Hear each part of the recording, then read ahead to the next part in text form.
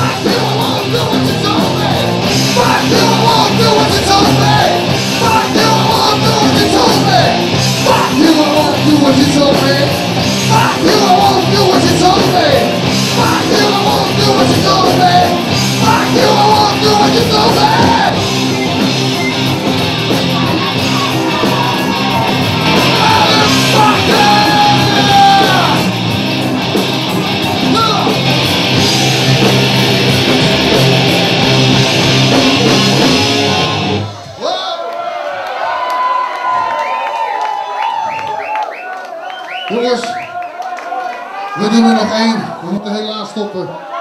Helaas. 5 en 2 moest het.